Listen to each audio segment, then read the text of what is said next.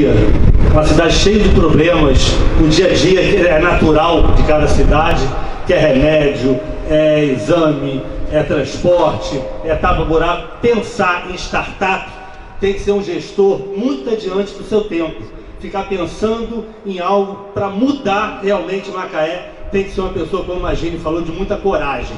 Então, prefeito, parabéns pela sua coragem, parabéns a Cadu pelo empreendedor que você é de muitos anos lá na UFRJ, nós somos companheiros da UFRJ, a Luísa, a Magine.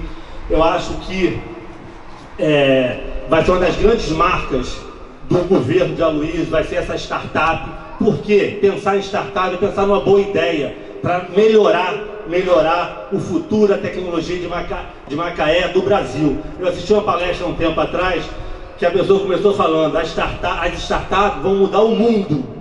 E estão mudando o nosso dia a dia. Hoje em dia, a, a vida do, de todos nós mudou com essas boas ideias que tem hoje em dia aí, com o celular, hoje em dia vocês fazem tudo, gente. Tudo hoje em dia vocês fazem no celular. E a startup vai caminhar para isso, fazer, fazer programas tecnológicos para mudar a vida do dia a dia do cidadão. Eu espero que tenha startup voltado para a educação também. Eu sei que tem ótimos projetos lá para melhorar mais ainda a educação de Macaé. A gente está lançando o Bolsa Escola agora, que os melhores alunos da rede municipal do sexto ao nono ano vão ganhar uma bolsa também para poder ficar na sua escola, tirando dúvidas daquele aluno que está com problemas pedagógicos, problemas de aprendizado. Nós vamos inaugurar até final do ano que vem mais 10 escolas em Macaé. Quinta-feira vamos inaugurar mais uma.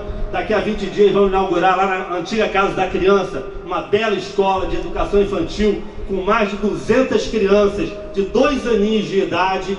Então a gente está universalizando a educação com mais de dois anos de Macaé. Todo mundo, não existe uma criança em Macaé a partir de maio com mais de dois anos de idade fora da sala de aula. E a nossa meta era atingir isso em 2022 com quatro anos de idade. Macaé está atingindo agora, 2018, com dois anos de idade, todas as crianças em sala de aula. Então, prefeito, parabéns pela sua gestão, pela sua coragem. Eu tenho certeza que aqui, aqui vai ser o início do futuro ah, do, do, de Macaé. Muito obrigado.